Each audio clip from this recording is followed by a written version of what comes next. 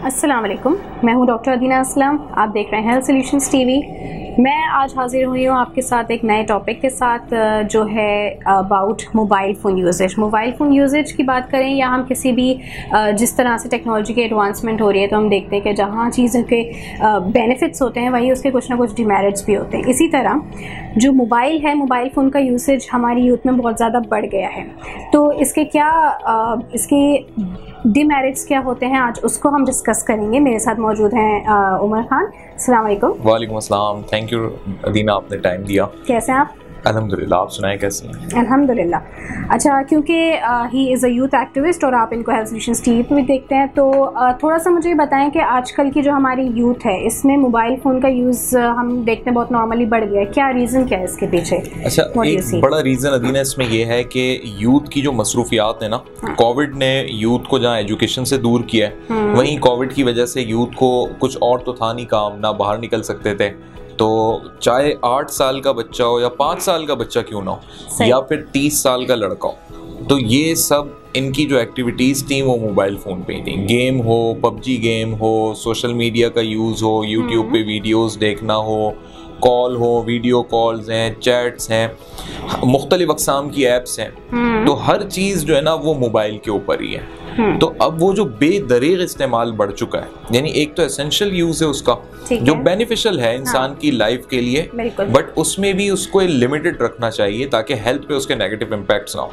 तो कोविड की वजह से हम सब ऑलमोस्ट पूरी दुनिया के अंदर ना सिर्फ़ यूथ बल्कि आम आदमी भी जो थर्टी प्लस हम्म। भी है जो यूथ के अंदर अगर नहीं भी काउंट होता कि यूनाइटेड नेशन ही कहता है जी थर्टी एट प्लस के बाद जो है ना वो यूथ में नहीं काउंट होता अड़तीस साल के बाद इंसान। घर बैठे एक्सरे करवाएँ सिर्फ़ हेल्थ सॉल्यूशंस ऐप के ज़रिए। मोबाइल चूँकि आसान होता है कैरी करना चार्ज किया डेटा आपका चल रहा है वाईफाई पे सब आप इंटरनेट यूज़ कर रहे हैं। तो यूथ हम्म। चूँकि पॉपुलेशन में सबसे ज़्यादा है वही सबसे ज़्यादा फिर इससे इफ़ेक्ट भी हो रही है। बट कोविड 2019 से स्टार्ट हुआ तो क्या हम कहेंगे 2019 से यूसेज बढ़ा है आपको नहीं लगता कि उससे पहले भी हमारी यूथ जो है वो बहुत ज़्यादा मोबाइल को टाइम दे रही थी बिल्कुल उससे पहले था लेकिन जो कोविड 19 के ड्यूरेशन में यूसेज हम्म। बढ़ा है क्योंकि आप अगर ये देखें ना कि इंटरनेट का जो इस्तेमाल है हम्म। वो जो सबसे ज़्यादा यूज़ हुआ है वो कोविड 19 में हुआ ठीक है यानी अगर किसी से भी हमने एक जनरल सर्वे किया और स्टूडेंट्स हम्म। के साथ हमने बात पूछी कि आप मोबाइल पहले भी यूज़ करते थे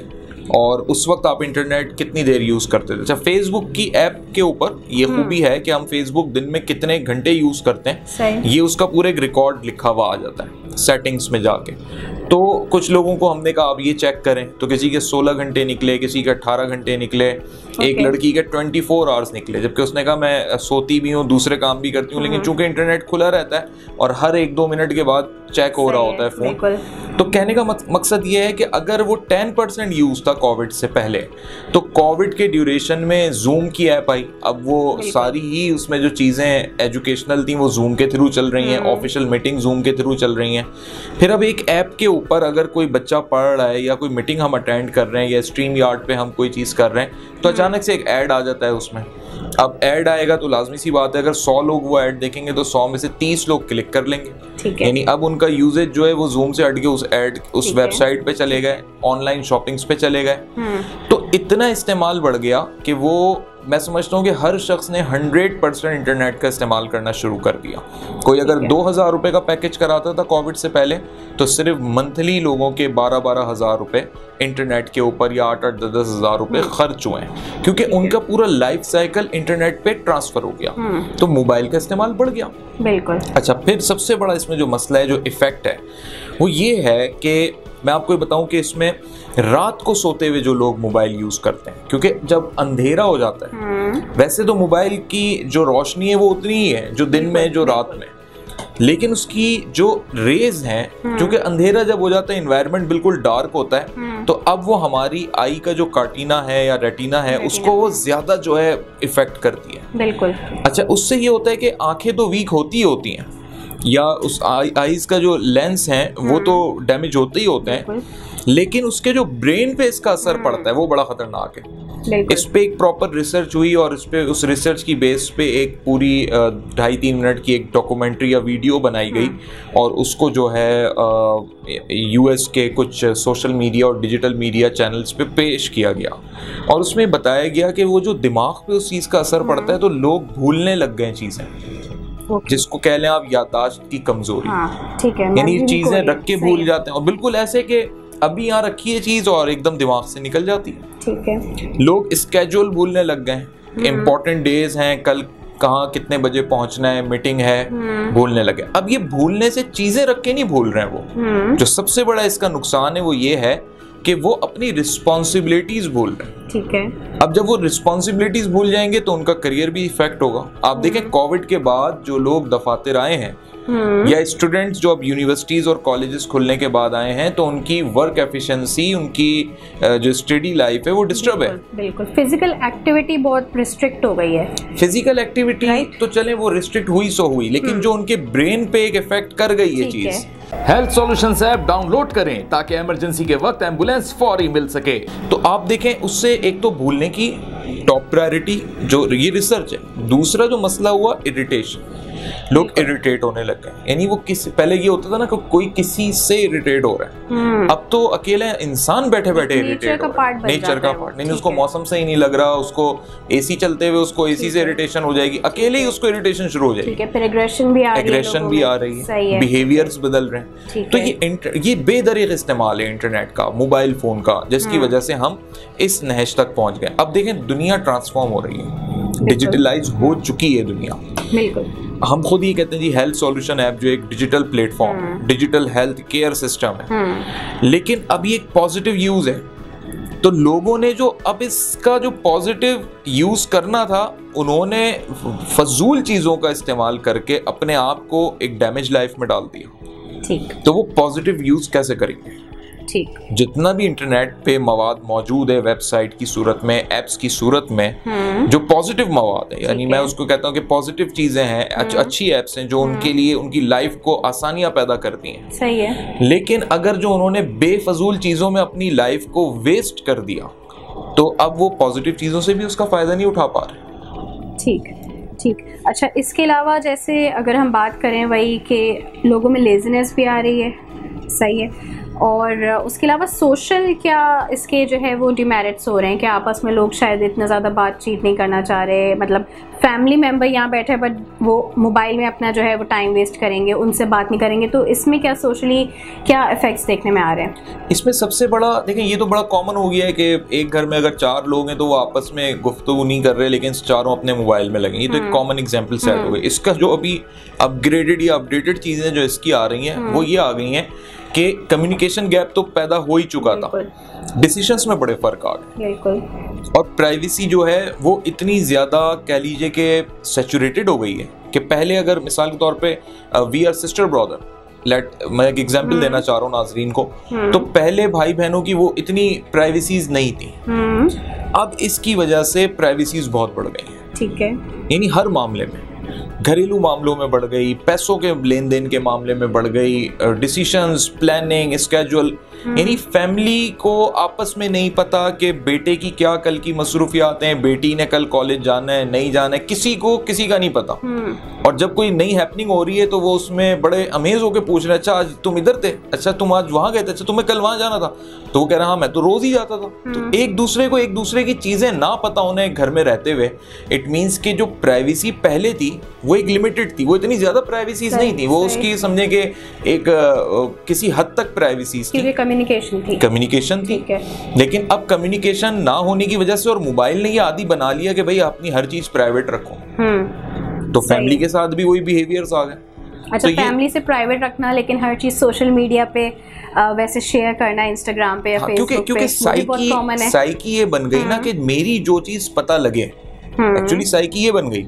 वो इधर से पता लगे। हम्म, क्योंकि इधर से मुझे दिख रहा है कि फीडबैक क्या है। ठीक है। कितने लाइक्स मिल रहे हैं हम्म। कितने शेयर्स मिल रहे हैं। तो वो इधर से पता लगने के चक्कर में अब मैं ये चाहता हूँ कि यानी हर बंदा ये चाहता है सोशल मीडिया यूज़र 98 परसेंट लोग कि उसकी फैमिली को भी वहीं से पता लगे। सही। तो फैमिली में अगर बाप बेटे से पूछता है कि भाई क्या खाना खाया? वो कहता हाँ जी मैं खाना खा गया हूँ। कहता क्या खाया? अब वो बताना नहीं पसंद करेगा। किसी भी लैब टेस्ट के लिए सैंपल घर बैठे दीजिए सिर्फ़ हेल्थ सॉल्यूशंस ऐप के ज़रिए। अच्छा आपको ऐसा लगता है कि क्या हमारी यूथ में ये चीज़ भी आ गई है कि उनको एक एक अप्रिसिएशन की हंगर है कि हम मुझे लाइक्स ज़्यादा मिले और जो है मेरी चीज़ को शेयर ज़्यादा की जाए? और क्या इससे भी कुछ मेंटल हेल्थ पे इफ़ेक्ट पड़ रहा है हमारी यूथ के? बिल्कुल ऐसा है लेकिन अप्रिसिएशन का वर्ड मैं इससे थोड़े से इतफाक नहीं करूँगा। क्योंकि मैंने ये ऑब्ज़र्व किया है कि नेगेटिव चीज़ भी है ना हम्म। उसको उससे भी परवाह नहीं है लड़के या लड़की। सही है। यानी नेगेटिव कमेंट्स भी आ रहे हैं दे हैव नो इशू ठीक है। बट दे वांट के वो डिस्कशन में रहें। ठीक है बिल्कुल। यानी लोग उन्हें बुरा भला भी कह रहे हैं ठीक है। उन्हें कोई इससे परवाह नहीं हाँ नोटिस हो हाँ, वो ट्रेंडिंग में रहे हाँ, वो ऊपर हाँ, रहे सर्चिंग में उनके कमेंट्स आते रहे लाइक्स होते रहे अच्छे हैं बुरे डजेंट मीन बहस छिड़ी हुई है किस कोई इशू ले लिया उस पर एक बहस छिड़ गई है। सही है। एक लड़की ने अपनी तस्वीर लगा दी है उस पर जो है वो कमेंट्स की भरमार हो गई है। हम्म। अब वो अच्छे कमेंट्स भी हैं बुरे कमेंट्स भी हैं बट शी इज़ हैप्पी सही है। कि मुझे लोग टाइम दे रहे हैं। हम्म। ये लोग ऐसे नहीं थे कि इनको जिंदगियों में पहले टाइम नहीं मिल रहा था। सही है। लेकिन एक वर्चुअल दुनिया एक जीयूआई ग्राफिकल यूज़र इंटरफेस ऐसा है कि वो अपने आप को हर आम शख्स भी जो है ना एक सेलिब्रिटी की तौर पे साइकोलॉजिकली कंसीडर करने लगा। बिल्कुल। तो उससे नतीजा उसका ये निकला कि जो सीनियर्स का अदब था या जो एक डिफरेंस था चाहे टीचर्स हम्म। हों चाहे पेरेंट्स हों फैमिली मेंबर्स हों वो ख़त्म हो गई चीज़। सही। और सोसाइटी में भी वो चीज़ ख़त्म हो गई। हम्म। यानी अब हर शख्स सोसाइटी में यानी वो तेरह चौदह साल का लड़का या लड़की जो है वो कहता है कि I have my own reputation मुझे एज की सीनियोरिटी एक्सपीरियंस इससे कोई फ़र्क नहीं पड़ता। हम्म। मेरा ये लेवल है मेरी ये रेपुटेशन है। ठीक। और इसका हमारे उन बिहेवियर्स पे असर पड़ रहा है। कि एक ट्यूटर ने मुझे बताया कि उन्होंने कोई खाने की चीज़ थी तो उसका खाली बर्तन थे तो उन्होंने कहा ये तुम जाते हुए जो है फलाने घर पे रास्ते में तुम्हें पड़ेगा ड्रॉप कर देना। हम्म। यानी तुम बाय वॉक जा रहे हो जैसे गलियों में ट्यूशन सेंटर्स होते हैं। हम्म। तो वो बच्चा जो कि मैं कहता हूँ बहुत बड़ी कोई मतलब फ़िल्म नहीं है या बहुत बड़ी कोई सेलिब्रिटी नहीं है और वो मना कर देता है। और वो इस तरह मना करता है जैसे उसकी जात पे ना एक वो हो रहा है कि ये उसकी बेजती हो रही है। तो ये बिहेवियर्स पहले नहीं थे बच्चों में नहीं थे ये बिहेवियर्स हम्म। अब अगर आठ दस बारह साल के बच्चों में ये बिहेवियर्स आएँगे कि वो अपने प्रोटोकॉल्स खुद तय कर रहे हैं। अच्छा माँ बाप उनको कुछ गलतियाँ माँ बाप की भी हैं कि वो उनकी काउंसलिंग नहीं कर रहे सही। और वो इस वजह से नहीं कर रहे क्योंकि खुद उनकी काउंसलिंग नहीं हुई नहीं पेरेंटल काउंसलिंग नहीं है हमारी सोसाइटी में। और अल्टीमेटली आप जितने भी ये मसाइल सोसाइटी में देखेंगी उसका एंड हल या एंड रीज़न जो है वो मोबाइल फ़ोन और इंटरनेट है। इंटरनेट पर बेदरेग इंफॉर्मेशन जो उसके काम की नहीं थी। हम्म। अभी उसकी उस लड़के लड़की की वो एज नहीं हुई हम्म। कि वो नॉलेज उसको मिलती। वो पाँच साल बाद मिलनी चाहिए थी। बट पाँच साल पहले अगर उसको वो नॉलेज मिल रही तो इट डजेंट मीन कि वो मिच्योर हो गया। बट वो अपने आप को मिच्योर फील कर रहा है और सोसाइटी में वो अपने बचकाना फैसले कर रहा हैं। ठीक है। और सोसाइटी जो है वो अब उससे नाराज़ तो है लेकिन अब वो उसको सुधार नहीं सकती क्योंकि उसके पास वक्त से पहले वो नॉलेज आ चुकी है जो उसके पास नहीं आनी चाहिए थी। ठीक है। तो ये सबसे बड़ा ड्रॉबैक है और ये ही सेहत को इफ़ेक्ट कर रहा है बिहेवियर्स को इफ़ेक्ट कर रहा है जिसमानी आजा को इफ़ेक्ट कर रहा है। जिसमें सबसे पहला आईज है हमारी। बिल्कुल बिल्कुल। डॉक्टर से कंसल्टेशन के लिए हेल्थ सॉल्यूशंस ऐप डाउनलोड करें और सेहतमंद रहें। तो ये सारे ड्रॉबैक्स हो गए बट हम इसको ओवरकम कैसे कर सकते हैं?